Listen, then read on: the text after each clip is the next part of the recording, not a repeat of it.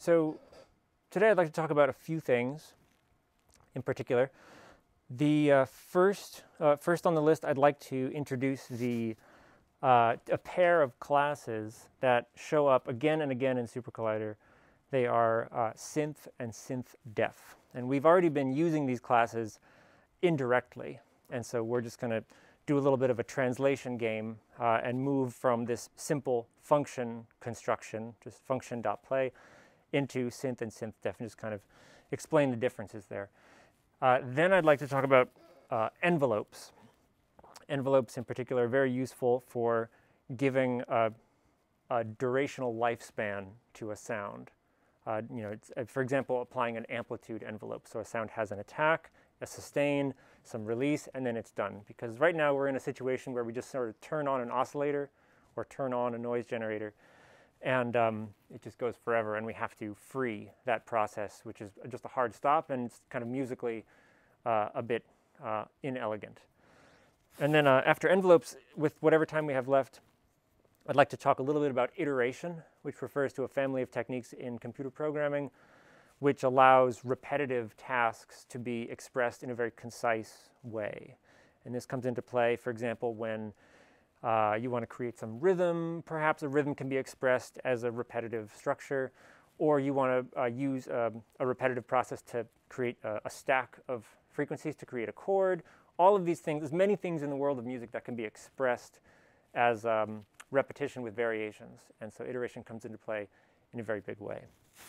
Okay, so to begin, we're going to talk about synth and synth def. And so what I have here is a line of code, s.boot, which boots the server, as we're already familiar with. And then we have a, uh, a ugen function. It's just a function delineated with curly braces. I've named it tilde fn. And uh, this is stuff we already know, sort of. We have, um, we declare some arguments which allow us to pass values in when we evaluate the function to customize the sound. And basically, you can think of arguments as like knobs and faders that allow you to change the parameters of the sound uh, to which they apply. I'm declaring a variable called sig, which is equal to a sawtooth wave. And the frequency is uh, our frequency argument plus an array containing zero and some other argument called offset. And just as a reminder here, what's going on here is a process called multi-channel expansion. Um, first of all, when we take some number and add it to an array, uh, that addition process gets applied to every item in the array. And so this array ends up being freak, comma, freak plus offset.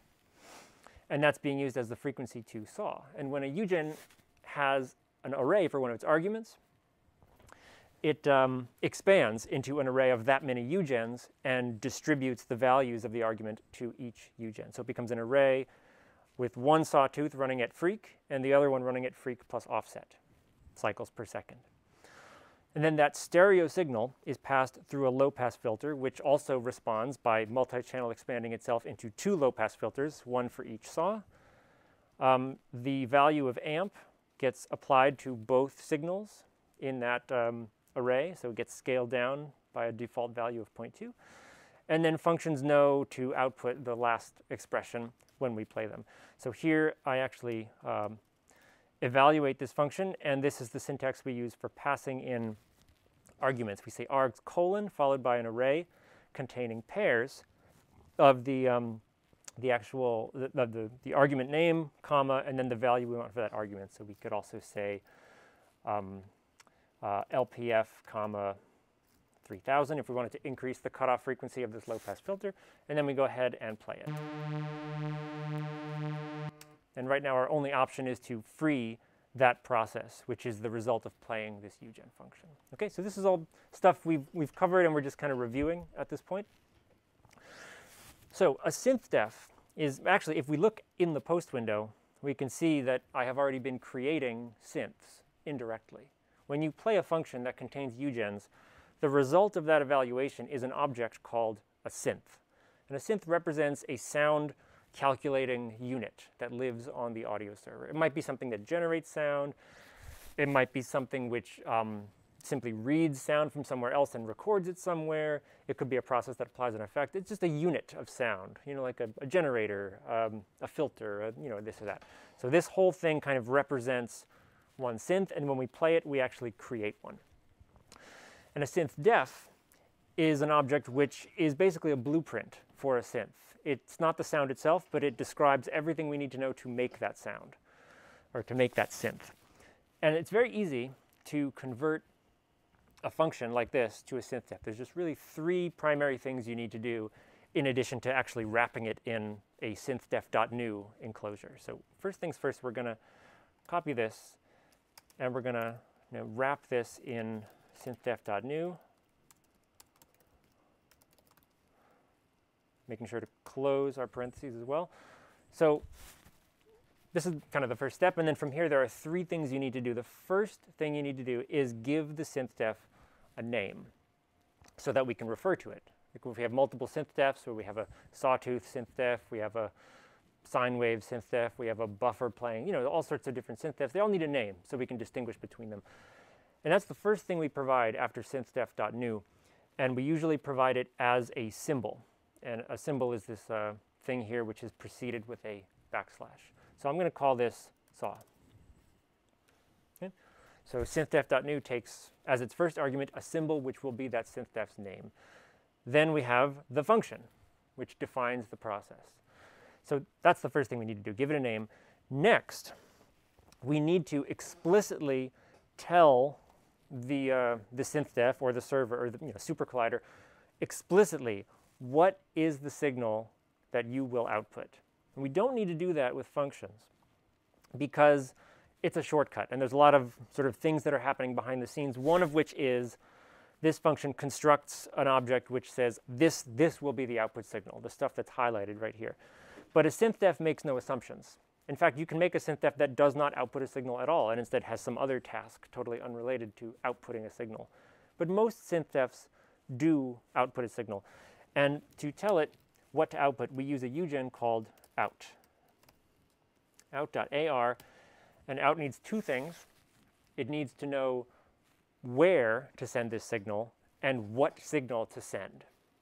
So for where, we specify a numerical index corresponding to an audio bus. And usually this is zero. I think a slightly more sophisticated and reusable thing to do is to actually declare an argument. Now, probably we're always going to be sending this signal to bus zero, but just in case, we'll give ourselves an argument in case someday in the future we want to send it to a different bus. And then the signal we actually want to output is called sig. Okay? Let me just take a brief minute to talk about buses and what bus zero actually means.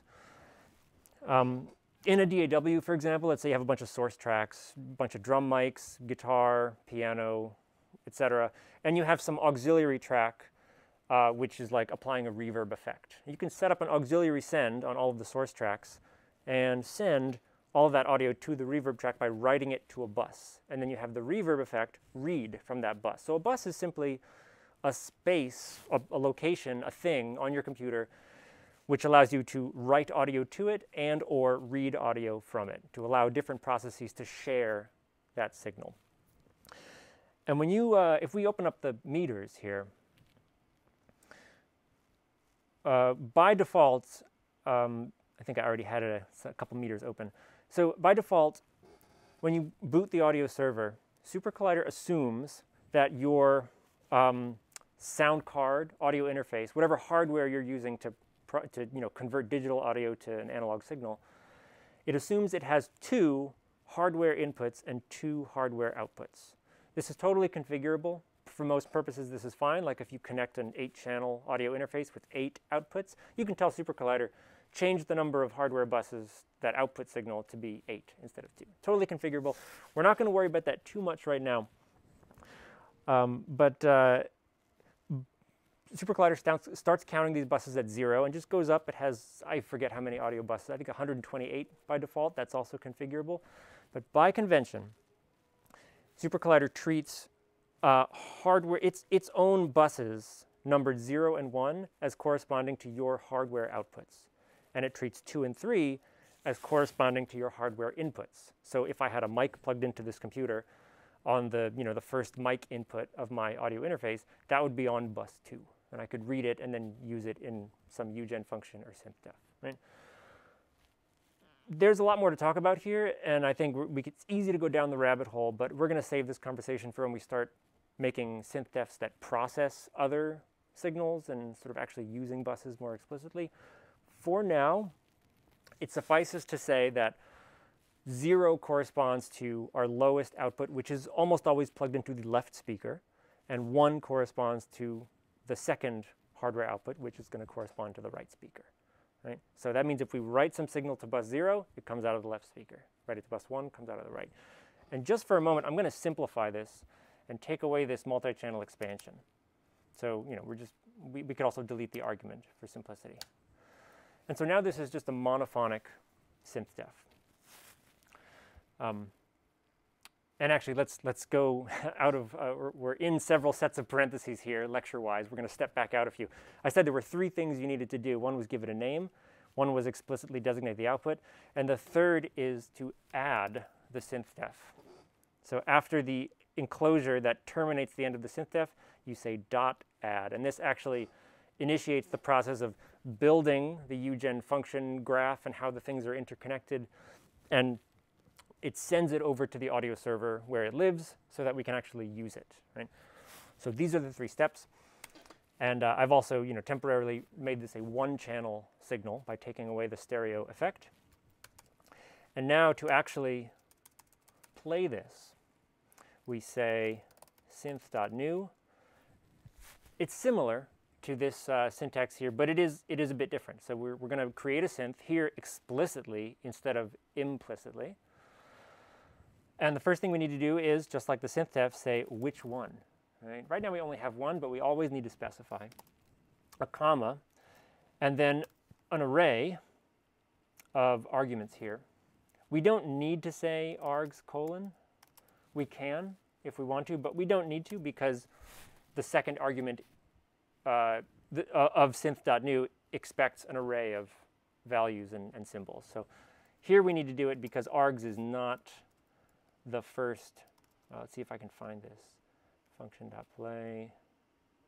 Yeah, so the when we play a function, the first argument is something called target, then outbus, then fade time, blah, blah, and args is actually last.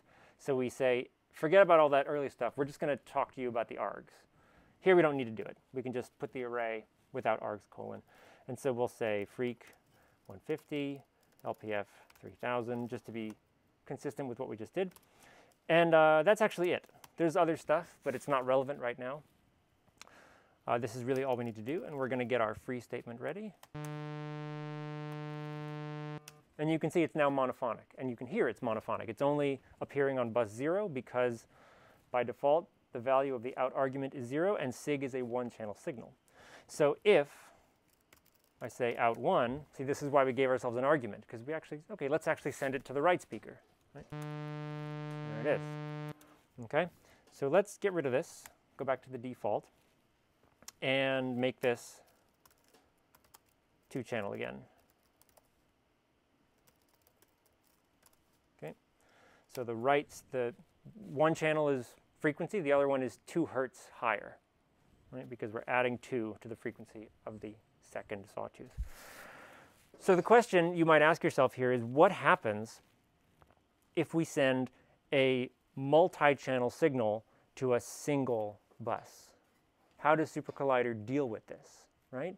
Because in SuperCollider, and really in just about every digital audio software, buses are one channel. Some, some softwares will do fancy stuff to make it seem like buses are multi-channel or just conceptualizing several buses as one multi-channel bus. But at least for the purposes of SuperCollider, every bus is one channel. So here we're sending a two-channel signal to bus zero, you could define lots of default behaviors here, but the one that is designed in SuperCollider is it sends the lowest channel, the lowest numbered channel, to this bus. And then says, okay, I've got more channels. I'm going to add one to this value and send the next one there, and the next one there, and the next one there. So if this were a four-channel signal, it would be on bus uh, 0, 1, 2, and 3. Right? If it were an eight-channel signal, 0 through 7, right? But here it's just a two-channel signal, so the left channel goes on zero, and it's got more channels, so it just puts them on puts them on one. So we have uh, the left on channel one and the right on the left on channel zero, and the right on channel 1, which is exactly what we want. Okay? And that's basically it for synth and synth def. It's a pretty simple conversion. Name, specific output, make sure to add it, and then we create our synth using this syntax. The question then is, okay, what's the difference? Why do we actually care? Why do we need two things that do the same thing? The answer is that um, the synth and synth is kind of the more formal, robust, flexible, reusable option. Uh, whenever we uh, play this function, what happens in the background is SuperCollider actually creates a synth with a temporary name, adds it to the server, and then plays a synth. And so um, you can see it, the name here is temp underscore underscore 98. Right? And uh, synth are pretty small. You know, they don't take up a lot of space, but it's just um, it's just a little bit messy, a little bit sloppy. And you know, this this is a good option if we just need to test something really quick. We don't we're not really like working on a, a coherent, robust, sophisticated piece of music. We're just like, I wonder what this would sound like. Okay, that sounds great. Just to be able to play a function without going through this business, it's convenient. But uh, for the long run, it's in your interest to actually go through and, and make the proper synth def and actually specify an output and provide all your arguments, and then you can call synths by explicitly creating a new synth.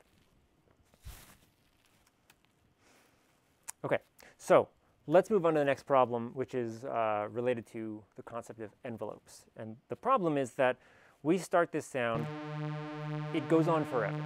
We, we just have to sort of live with it, and all we can do is either free it or hit command period to just stop everything, right?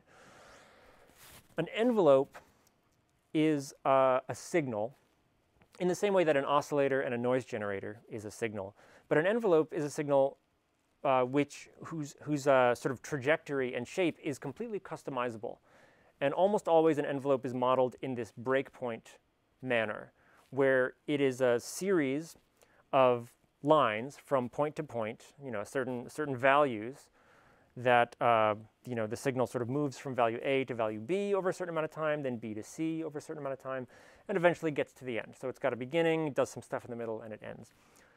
Most of the time, envelopes control the amplitude of a sound because in the real world with instruments, you know, when a, bow is dragged across a string or a hammer strikes a piano string or a drumstick hits a drum head, objects go into vibration and sound happens and then that energy dissipates. And so it's, it's a great way to just model sounds and also music as an art has a time and place and lifespan in time. So envelopes are really, really essential for just giving shape and meaning to your sounds instead of just letting them play on for eternity.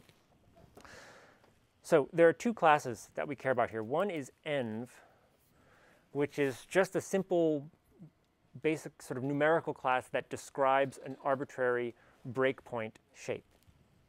And then there is envgen, which is an actual UGen, like SINOSC and SAW and white noise and all those. This is the object which actually runs, you know, on the server, generates samples, and it creates a signal, a digital signal using the shape of env. So let's first start by understanding the env class. And so we can say env.new. I'm going to put this in a block of parentheses so we can kind of deal with it more easily. And env.new is uh, sort of the one size fits all option for creating an env. Uh, there are other options like specific methods like triangle, which creates a triangular shape envelope, uh, perc, P-E-R-C, which creates a percussive envelope with a very short attack and an exponential decay. Lots of options, but env.new is the choose your own adventure env. Right? We get to say exactly what we need, and there are at minimum three things. Uh, sort of usually what happens is three things, and they are all arrays. The first represents the levels, the points between the segments, and the values of those points. Um, the second represents uh, durations in seconds between successive points. And if there are n points, there's, uh, there are n minus 1 segments. So five, five points means four segments, 10 points means nine segments, right? And then the third array is an array of curve values, which tell the env what kind of trajectory to make from one point to the next. And I want to uh, start by just imagining uh, an ADSR envelope. So we're just going to draw one of those. And you've probably all seen these before, but an uh, ADSR envelope looks something like this.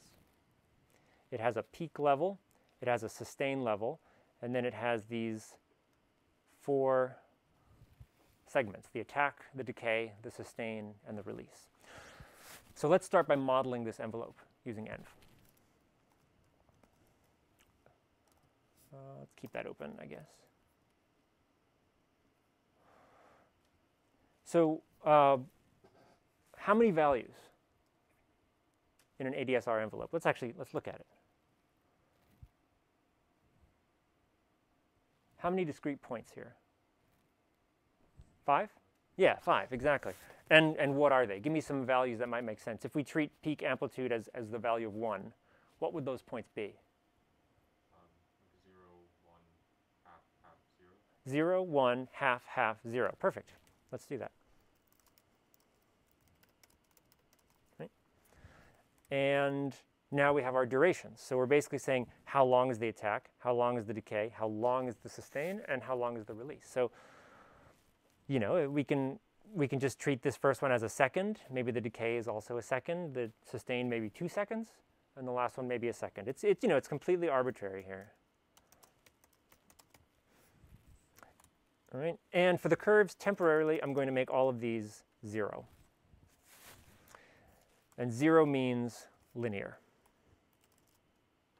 So I'm going to call this envelope E, and then I'm going to plot the envelope. Okay? There we go. We have made a very basic ADSR envelope specification. And just to show you sort of what's going on here, uh, we can make the sustain level lower, like this. We basically drop the sustain level. We can make the attack longer. Now we have a four second attack. And it just, it always kind of plots it on the same initially sized window, but it's all, it's all relative, right? Depends, it's a matter of context. Uh, and let's talk about the, um, uh, the curve values. So zero means linear. It's just going to draw a straight line from, uh, if this is zero, then the line that's one second long that goes from zero to one is linear, straight line. Positive values curve in one direction. You See how it's starting to bend? It curves, positive values curve a segment such that it changes slowly at first and then quickly towards the end. So you see it's, it's more flat down here and it's more vertical up here. If we make this something like 4, it's a more extreme kind of curve. And these numbers, you know, you can go really as high as you like, and eventually it's just this extreme, extreme curve where it like basically barely does, barely changes at all until the very last segment, bit of the segment, and then it jumps up. And as you can probably imagine, uh, negative values curve in the opposite direction. Okay? And depending on what this envelope is being used for, you might want kind of a more logarithmic shape for some things, a more exponential shape, and sometimes a linear shape. Like if your envelope is controlling um, a glissando and it's being specified in MIDI note numbers, so maybe going from like note number 40 to note number 60, it makes sense to use a linear shape there because uh, a, you know when if uh, on the piano if we move linearly it sounds like a nice smooth even glissando.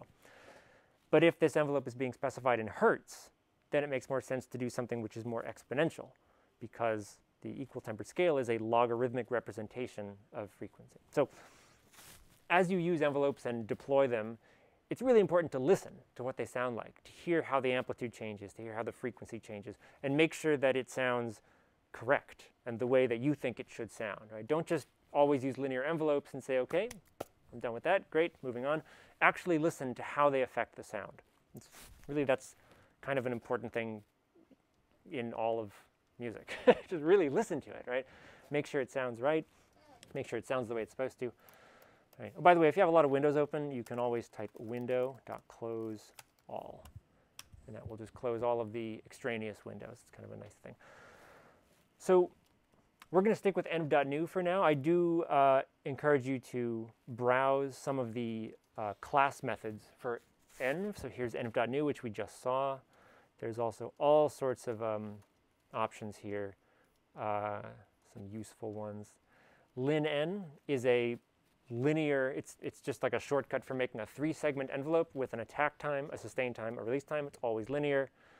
Like I said, there's triangle, uh, a, a, bell curve shape, env.sine, et cetera, et cetera. So let's actually deploy an envelope inside of this synthdef. And we can't just put an env here because an env is not a signal. An envgen is a signal. So we actually need to put an env inside of an envgen. So I'm making a variable. I'm just calling it env. You can call it whatever you like, just like you can call sig anything you like. And this env is going to be envgen.ar. I think I will briefly talk about AR and what this means specifically and just a few efficiency considerations in just a moment.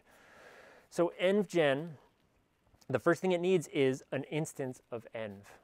And so we're just going to take this here, uh, copy it in. We do not need to keep this E anymore. And we're going to close it. And let's, I'm going to make this uh, curve a little bit inward, this one a little bit in the other direction. Obviously, this segment just goes from one value to the same value, so it really does not matter what this curve is because when you have a point and a point and they're the same, you, you cannot curve between them, right? You can only go in a straight line, so this, this is an irrelevant value.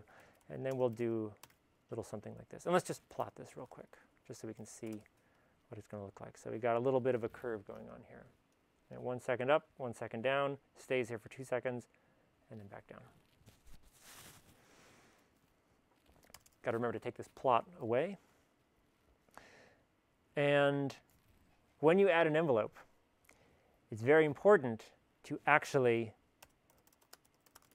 apply it, right? You can't just put the envelope in your synthdef and assume it knows what to do with it. You have to actually implement it, right? What is this envelope going to do? It goes from 0 to 1, 0.5, etc. It is being used as an overall amplitude control. Right? Uh, it's, it's, shaping the amplitude of the sound, and one way we can uh, implement that is by simply multiplying it by our signal. So initially, the value of the envelope is 0, which means initially sig is silent. And then over a second, it goes up to a nominal level of 1, which means sig is going to be at its full amplitude. And then it goes down to 0.5, et cetera, et cetera, et cetera. And keep in mind that there's no limit to the number of amplitude scaling devices we can employ here, right? So we have an, an, overall amplitude, which is just kind of scaling the, it's like our master fader. But then, you know, within that scaling framework, we can then scale it again by some dynamic value. For example, this, this envelope, right? So uh, we're done enough to make sound. So let's go ahead and actually play this, just so we can really see it and hear it. So here we go.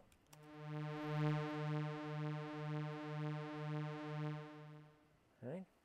Okay. We could, you know, play it again.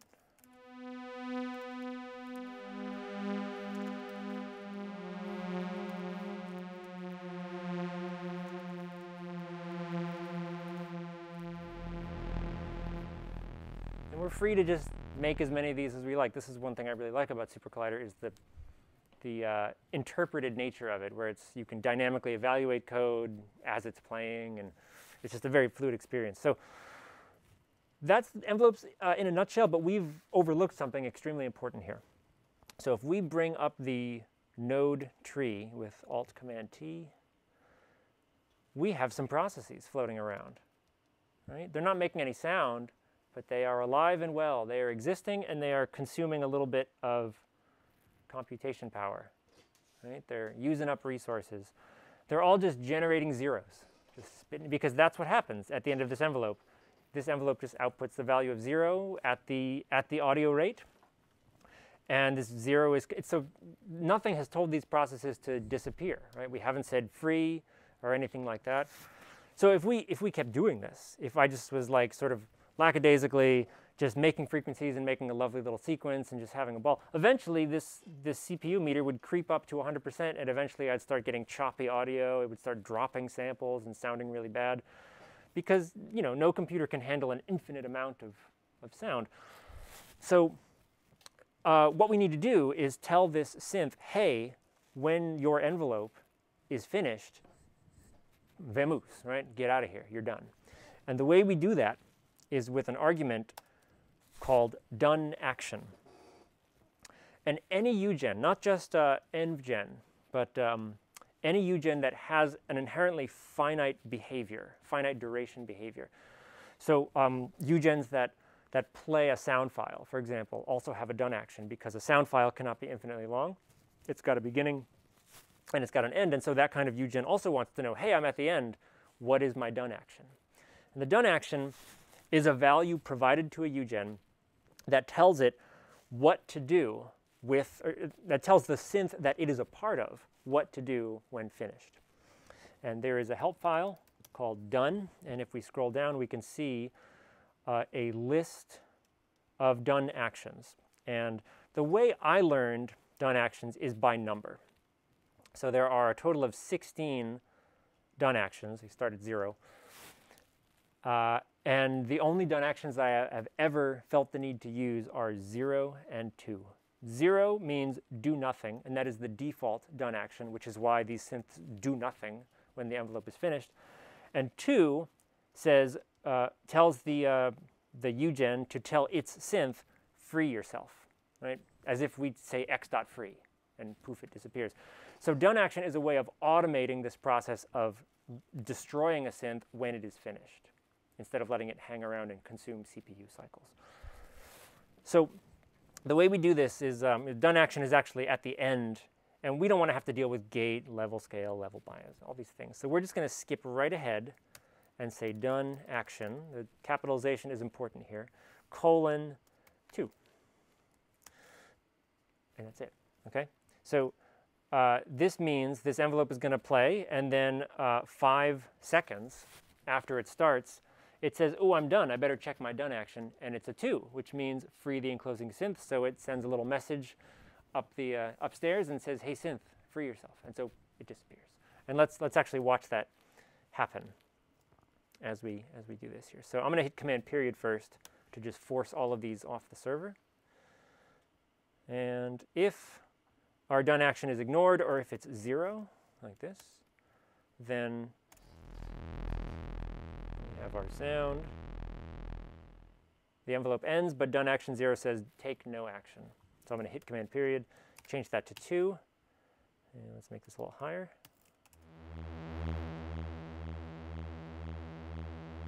And poof. All right, that is what we want. Whenever you have a sound with an envelope uh, such that when that envelope is complete, it means the sound is over, done, period. That's, that's the end. We're never going to need this sound again. Done action two. Very important. If you ignore done action two, in certain situations, you end up with a ton of synths and you say, huh, why is my computer at like 80 or 90% of its uh, capacity? Know, and it's because you've got a lot of synths which are just taking up space and like, you know, working as hard as they can, but for no reason. So that is, um, that's done action two. Uh, there are a couple of other envelopes. I mean, from here you can see uh, you just sort of provide any sort of values, any amount of values to create any sort of custom envelope shape. Uh, there's a couple of other options. Just if you, if you only need something very, very simple, there is line, which goes from some value to some value linearly, let's say 1 to 0 over 2 seconds, with a done action of 2. And this is basically like envelope, but far less flexible. You just get one segment and it's always linear.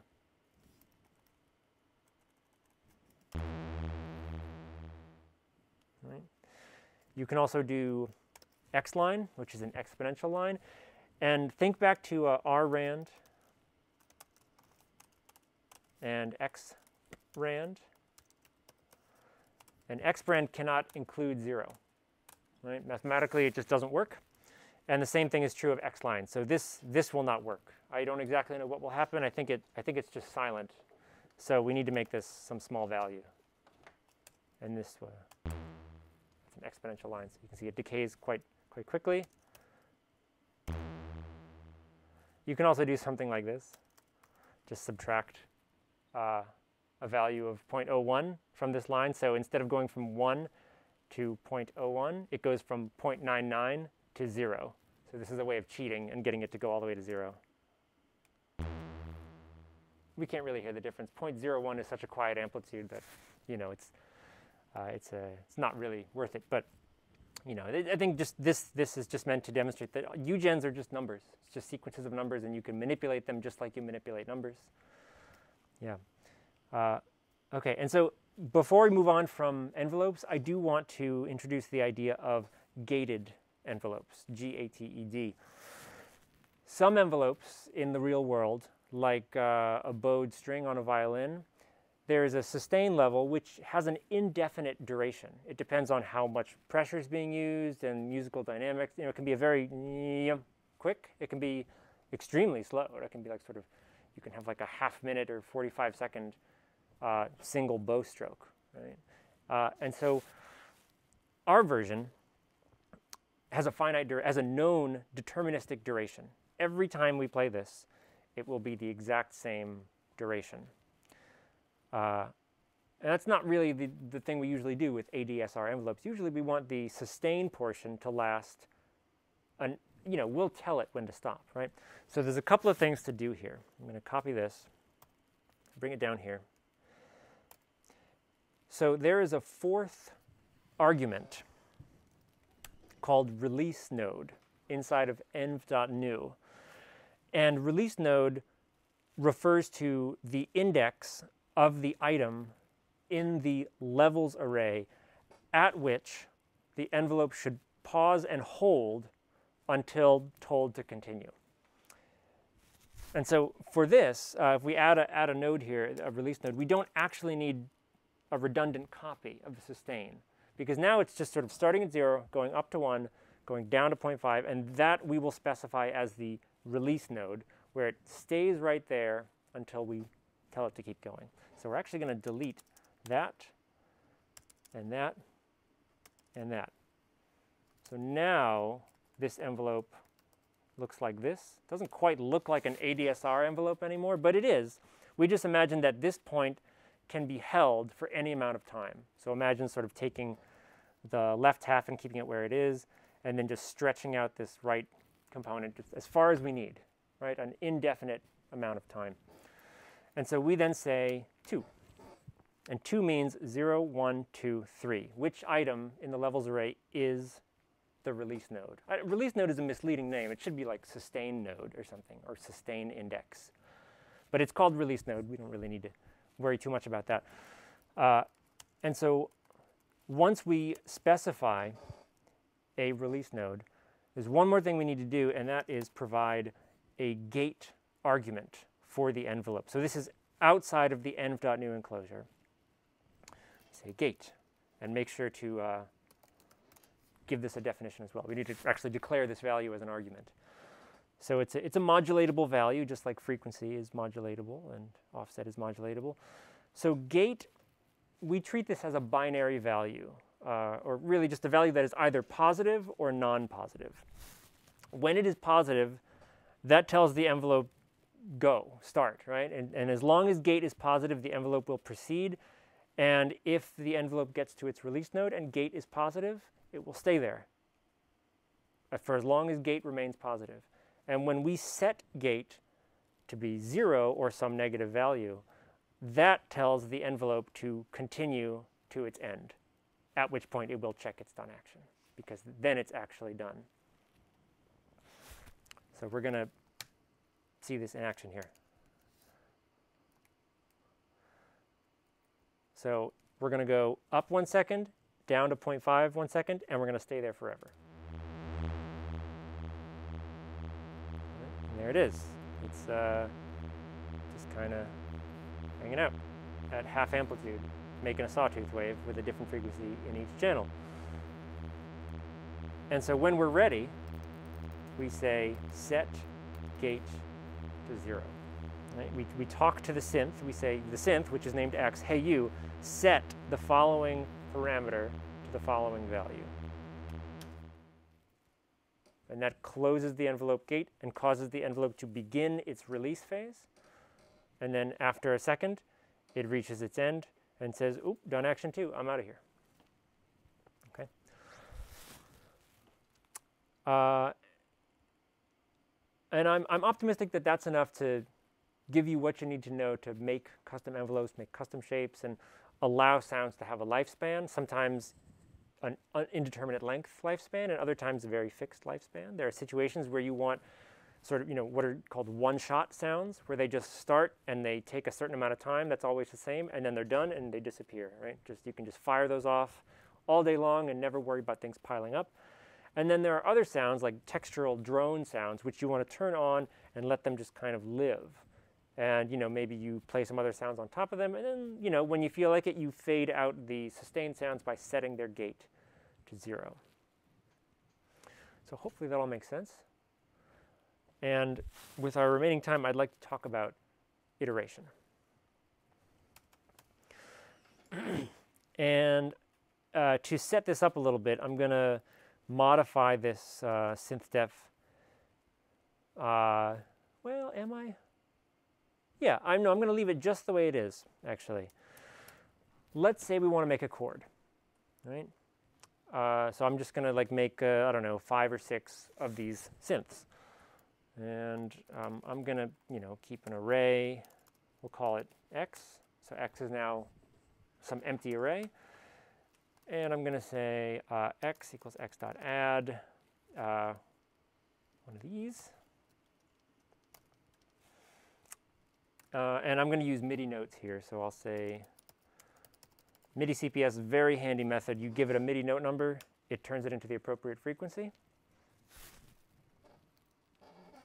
And I'm just to make one of these. So we got a synth, I think. Make sure that works. And then we can say x at 0 dot set gate 0. Kind of the same idea, except I just have an array. I'm storing these synths in the array as I create them, and then I can access them like this. So, you know, we'll just copy and paste a few times, make a nice chord. Uh, there is a, I might, this might not be a default keyboard shortcut. I'm just going to dip into the uh, keyboard shortcuts real quick. Uh, I think it is, yeah, copy line down and copy line up. I've made a keyboard shortcut for that. What that does is when you're on a line, you just use that keyboard shortcut and you just copy that line as many times as you need. And I also have made a keyboard shortcut for move line up and down, which I found to also be useful. Just like maybe you, uh, you copy something and then you want to move it up here. Very handy. So I highly recommend. Um, so I'm going to say, I'm also going to make the amp a little bit quieter here. All right, and so uh, if you haven't figured this out, I'm doing this in the worst way possible. This is just so uh, tedious and annoying. Uh, well, let's hear what it sounds like. It's a little, it's a little quiet. I'm going to turn these up. And uh, I'm just going to hit Command period and do it again. Lovely, right? So then, you know, what do we do here? We have to like, do this.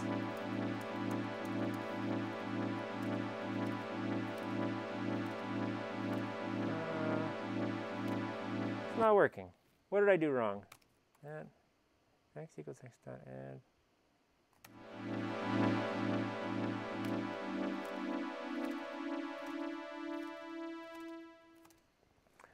I think I must have, I'll have to go back and watch the video, but I, I must have evaluated something which disrupted or disturbed or removed the contents of X, and so these messages weren't working. Um, but like, you no, you actually do need X equals instead of just X dot add, yeah. Because arrays have a finite size. If, if we here, watch this. Uh, so if I say X dot add one, uh, something like this, it just runs out of space eventually. So by saying x equals x dot add, it guarantees. Yeah, it's a, it's a little subtle subtle trick that comes up. So I, I'm not sure what I did wrong, but it worked the second time, and you know we'll just we'll just forget about it. So uh, oh, you know what I think it was? It's because I added a few and then didn't actually empty out the array. My point is, this is hideous. Like, we don't want to do this. Like, copying and pasting all this line and change, if we want to change the amplitude, we have to change it, you know, six times or something. Uh, it's, it's, it's horrible. So this is why iteration is useful. You want to do something which can be described in a formulaic, repetitive way. You want to use some sort of iteration method. And the first iteration method I'm going to show you is collect. So collect. And collect operates on a collection, usually an array. And we say that collect iterates over that array and evaluates a function once for each item in the array and returns a new collection populated by the results of the function for each of the items in the starting array. And yes, I know that's a huge mouthful. So let's actually look at an example here. I'm going to take this array of numbers.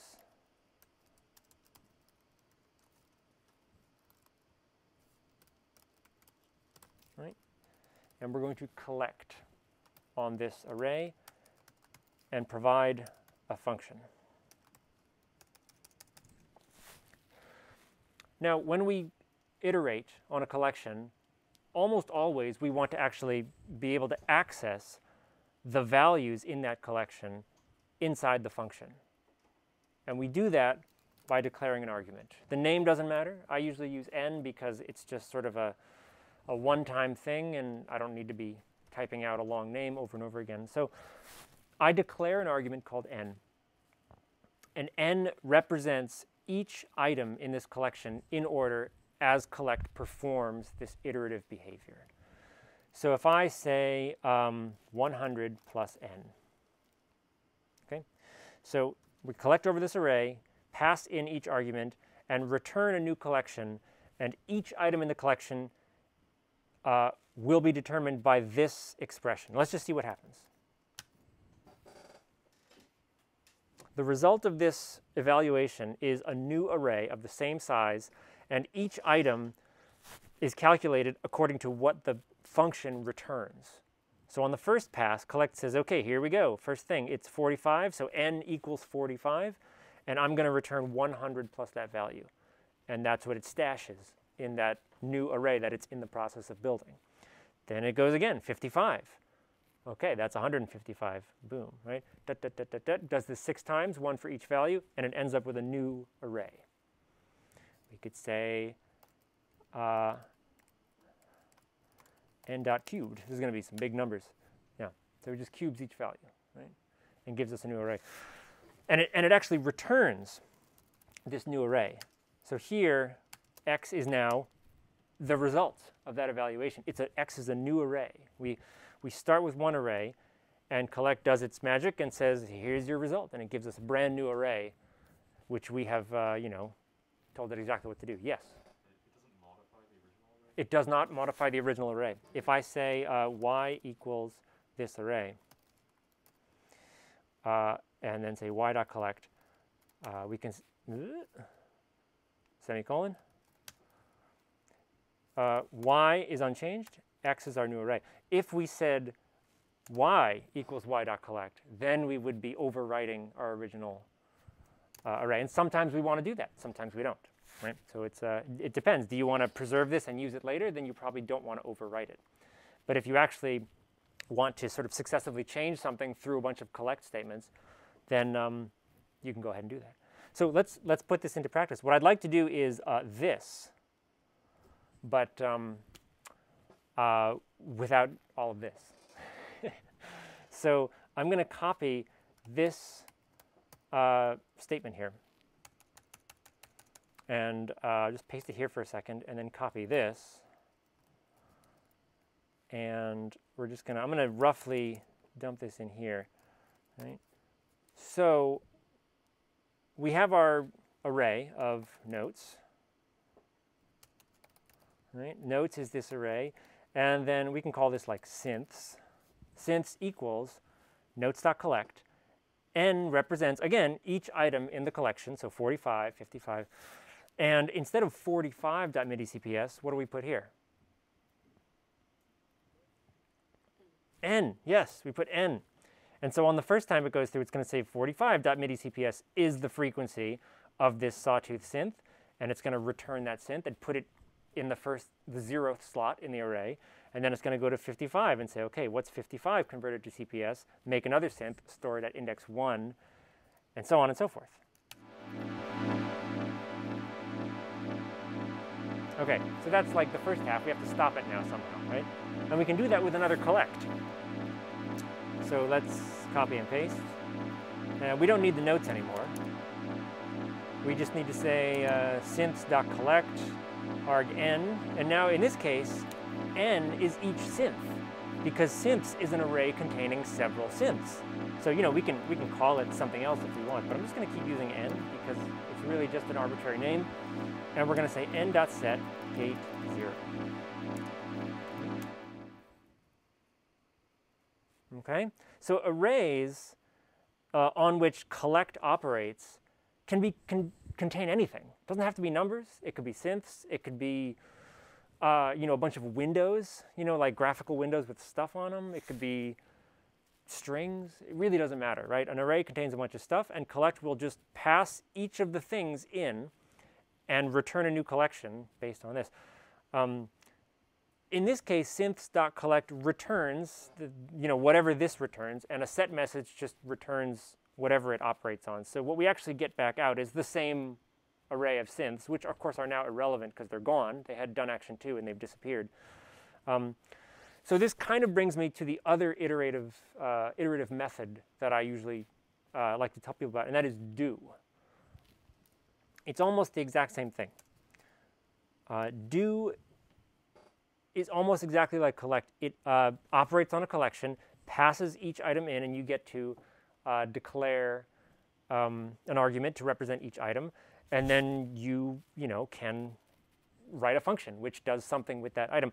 The difference between do and collect is that collect returns a new modified collection based on the evaluation behavior of the function, based on what that function returns.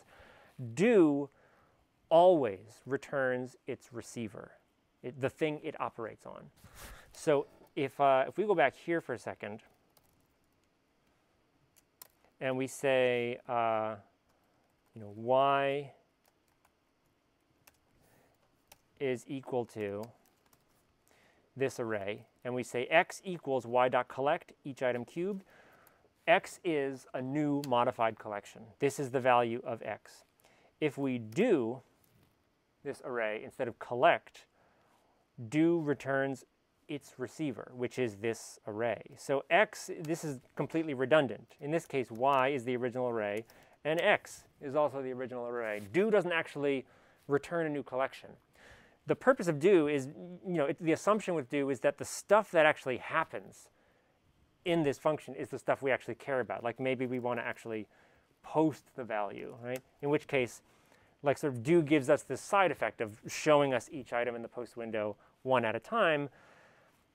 What do actually returns is never a useful thing, right? It's if we don't need to return anything from do because we already had that thing to begin with. But collect returns a new modified collection. It's a subtle, subtle difference, but it does come into play up here. For example, uh, we start with these notes. We want to turn them into an array of synths because we want to be able to turn those synths off later. So collect is really important here because we start with an array of numbers and because the function ends with synth.new, it returns a new array containing synths. That's what we want. When we set them, set their gates to zero, we don't really need to return anything new, right? We're talking to things that already exist. So here, do is perfectly fine. So we can say synths.do, and it evaluates this function and sets each synth's gate to zero. We're not interested in what it returns. We're interested in what it does the, sort of what its function's behavior is. So here we can say, do this, turn this off, right? Fine. If we do here, we make the synths, but synths is the same thing as notes, right? It do just returns its receiver, so this will not work, right? It doesn't, work, because synths is, is an array of numbers, and it doesn't make sense to set numbers gate to zero, right? So this is, I think, one of the simplest and most straightforward demonstrations of how collect and do are different. And um, most of the time, you can just use collect, and that's that's fine. Um, like, there's really no harm in using collect where you could use do. But um, sometimes I, I, like to use do because, uh, you know, I um, the receiver is not important. Like, do is useful for just doing something x number of times. You might say something like uh, uh, the array 1 to 100. This is a shortcut for creating the array 1 to 100, 1 dot dot uh, 100 dot do. And you want to post the string hello 100 times for some unknown bizarre reason. Do will, will do that for you, right? And the thing is, we don't care what do returns. We just care about what happens in the function, right? And that's basically it. One last subtle thing um, before I let you go. Uh, in these in these functions, uh, do and collect, we've already seen that we can declare one argument which represents the actual items in the collection. We also have the option of declaring a second argument. Uh, we can name it whatever we like. And this second argument represents the index of each item. So what I'm going to do here is uh, post an array of two values, the cubed result of the item, 45, 55, etc., and just i, whatever i is, just to show you uh, what i actually is. And we're just going to actually re return this. Let me see if I can format this so that it's readable. Not really. Um, okay, well, you can see that uh, we have, we've returned a new collection, as collect does, and it's populated with the result of this function, and the result is an array containing two things. So here's the first array containing two things, n cubed and i which is the, the index. It's the zeroth item. Then we have n cubed i, the second item, the, well, this one cubed, and its index, which is 1, and this one cubed, which is 2. Right? So sometimes it's useful in these iterative functions to have access to the count. Right? Which number am I on? Am I on the fifth one or the sixth one or the seventh one? In addition to knowing its actual value, which is almost always going to be an entirely different thing. So you want to know the value and the index. This is how you get access to both of those things inside of a collect or a do. Okay? All right, well, uh, hope that all makes sense. And uh, I'll send, I'll cook up another homework and post these as soon as possible. Most of the time, the lectures, they're going up like within 24 hours later because the rendering takes a while. But uh, that's basically it. I'm going to end it here and feel free to stick around if you have questions.